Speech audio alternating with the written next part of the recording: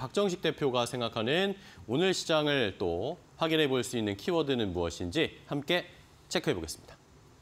자, 이번에 박정식 대표님께서는 도심공항 추진 본격화라는 키워드를 주셨습니다. 자, 도심공항 산업과 관련해서 UAM 쪽에 어, 과거에도 또 이야기가 있었는데 뭐 시장이 워낙 어렵다 보니까 또 사그라들고 잊혀지고 하는 모습이었습니다. 그런데 다시 모멘텀들이 조금씩 부각이 되고 있어요. 이쯤에서 많이 눌렸을 때 공략을 해봐도 좋을지 자, 박정식 대표님은 어떻게 보십니까?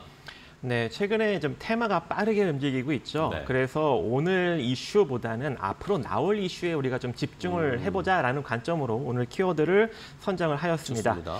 일단 뭐 한국형 그러니까 한국형 이 UAM을 만들기 위해서 정부가 2025년까지 UAM 상용화를 목표로 이 KUAM 컨소시엄을 구축을 했죠. 그래서 어, 뭐 SK텔레콤, 한화시스템, 티맵 모빌리티, 한국공항과 팔자간 업무 간 업무 협약을 맺고 이를 이용해서 충청권의 네개 시도가 이 민간 기업 연합체와 손잡고 초강력 도시 항공망을 구축하겠다라고 발표를 했었습니다. 그리고 지난 19일 날 대구시가 2023년 대한민국 미래 모빌리티 엑스포에서 이 차세대 도심 대중교통 수단이 될 도심항공 교통 홍보를 하였고 거기에 삼보 모터스가 어, 제품을 하나 선보였죠. 그래서 이따 한번 소개를 해드리고요. 거기에 이제 앞으로 이제 인천시가 11월 8일 날 UAM 국제 행사 제3회 이 KUAM 컴팩스를 개최할 예정입니다. 그리고 이거에 앞서 이 11월 3일 산업통상자원부가 UAM 국내 상용화 지원을 위해서 이 비행 시연 행사를 할 예정이기 때문에 이번 주 금요일부터 다음 주 수요일 날까지 계속 요 관련 이슈가 나올 것으로 보여집니다. 그래서 이 지금과 같이 이렇게 좀 시장이 조정을 받을 때 우리가 선점하면 좋지 않을까 생각하고 있습니다. 네, 좋습니다. 자, 말씀해 주신 것처럼 시장이 워낙 어렵고 또 어, 침체되어 있을 때 앞으로 좀 올라갈 수 있는 또 좋은 미래 성장성을 가지고 있는 쪽을 살펴볼 필요가 있겠습니다. 자, 그렇다면 말씀해 주신 이 UAM 관련 이쪽에서 어떤 종목들을 저희가 미리 선점해 보면 좋을까요? 네, 첫 번째로는 삼보 모터스입니다. 네. 자, 아까도 언급드렸다시피 대구 미래 모빌리티 엑스포에서 1인승 하이브리드 UAM 미르 X2를 공개를 하였고 거기에 비행 시연까지 하였습니다. 그렇기 때문에 앞으로 어, 이렇게 이제 이 도심항공 이슈가 나오게 된다면 삼보 모터스가 좀 부각을 받을 것으로 예, 보여지고 있고 어, 자동차 부품 제조 업체고 여- 전형적으로 이 화석 연료 관련 제 벼- 부품을 많이 만들고 있지만 이 최근 현대차와 이 전기차 전용 부품 250kW급 로터 아세, assy를 공급 계약을 맺으면서 이제 전기차 관련 부품도 대량으로 생산을 해내고 있는 기업입니다. 그래서 앞으로 이 미래 모빌리티 쪽에 상당히 좀 부각을 받을 만한 예, 그런 회사로 보여지고 있고요. 하지만 최근 이 시장의 하락력으로 인해서 매출과 영업이익이 급격하게 성장을 하고 있음에도 불구하고 순자산 가치 3,022억 대비 현재 시가총액 1,189억으로 상당히 저평가되어 있습니다. 그래서 어, 우리가 좀 이렇게 시장이 하락이 나올 때 좀 선점을 해볼 만한 그런 종목이 되지 않을까라고 생각을 해서 지금 현재 한 5,230원 정도에 움직 이고 있는데 한 5,000원 정도 수준까지 여러분들이 좀 분할 매수 관점으로 시장이 눌릴 때 한번 잡아 보시고요. 이 상태로 이제 도심항공 이슈나 아니면 전기차 관련 부품 이슈가 나오면서 상승이 나올 경우에는 네. 한 6,000원 정도 수준까지 단기적으로 바라보시고 아, 생각보다 세게 시세가 나오게 된다면 중장기적으로 만 원 이상까지도 바라볼 수 있는 그런 종목이 되지 않을까 생각해 봅니다. 알겠습니다.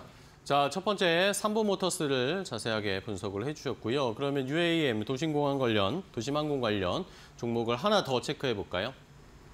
네, 하나 더 보면은 일단 드림 컨소시엄에 속해 있는 아, 한화 시스템입니다. 하나 시스템. 네, 하나그룹 계열의 방위산업 시스템 업체이고 주요 고객이 한국 정부와 계약을 어, 맺고 어, 다양한 제품을 연구개발 생산을 하고 있는 예, 그런 업체인데 이번 최근 3분기 실적이 상당히 긍정적으로 나왔습니다. 매출이 6,208억 원, 영업이익이 373억 원이 나왔는데 이 매출과 영업이익이 각각 전년 동기 대비 35% 그리고 그리고 6,800%나 증가가 되었기 때문에 이번 이슈로 한 번 정도 주가가 움직일 수 있는 역량이 있는 기업이다라고 판단이 되고 있고 특히 이제 어, 최근에 이 K방산 쪽에 상당히 핫하게 어, 부각을 받고 있는 상황이죠. 거기에 이제 실적까지도 덧붙여졌기 때문에 어, 한화 시스템 같은 경우에는 앞으로도 계속적으로 성장이 가능하지 않을까라고 생각을 합니다. 그래서 전일 조금 이제 강력한 상승력이 좀 일부 나왔어요. 그리고 오늘 조금 이제 조정을 받고 있는데 이 기회를 틈타서 우리가 좀 분할 매수 관점으로 가시면 좋을 것 같습니다. 그래서 어, 12,400원 이하로 여러분들이 한 내일 정도부터 분할 매수 관점으로 한번 가 보시고요. 네. 이전 저점 11,800원 정도 자리까지 분할 매수를 하신 다음 다시 한번 상승력이 나올 때는 단기적으로 13,500원 정도 자리까지 한번 바라보시고 시세가 만약에 잘 돌파가 나오면서 추가적으로 올라간다면 중장기적으로 16,000원 정도 자리까지도 바라볼 수 있지 않을까 생각해 봅니다.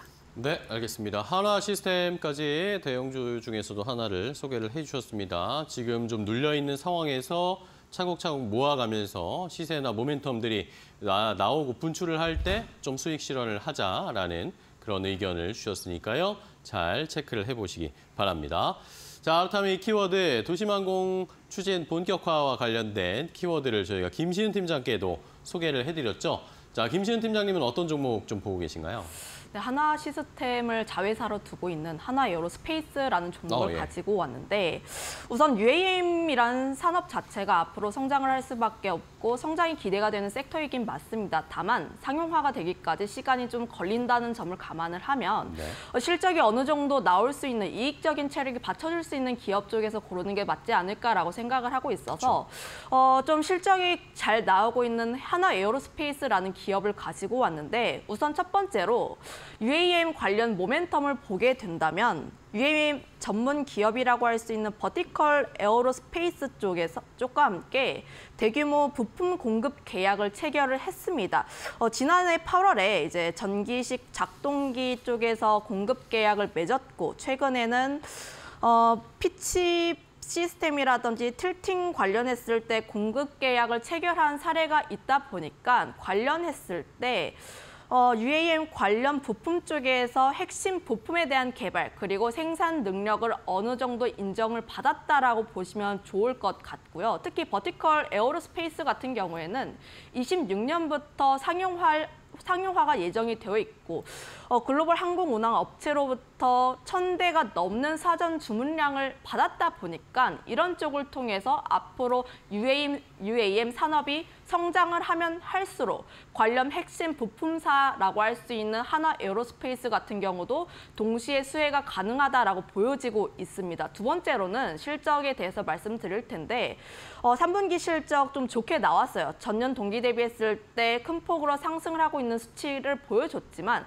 다만 방산주들 대다수가 그렇듯이 시장의 기대치를 약간 하회를 했다는 점이 조금 아쉽기는 합니다.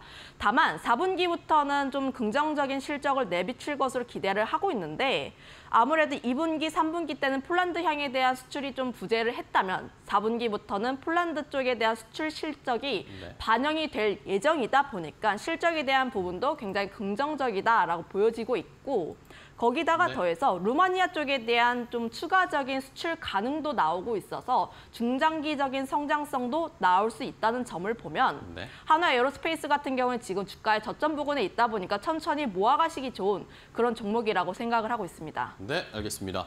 자, 한화 에어로스페이스까지 오늘 또 좋은 양호한 실적 발표했죠. 이 한화 에어로스페이스까지 저희가 잘 추적하고 체크해 보도록 하겠습니다. 자, 오늘 두 분과 함께 키워드로 시장을 정리해 봤습니다. 오늘 좋은 전략과 종목까지 소개해 주셔서 감사하고요. 두 분 다음 시간에 또 뵙도록 하겠습니다. 오늘 고생 많으셨습니다. 고맙습니다.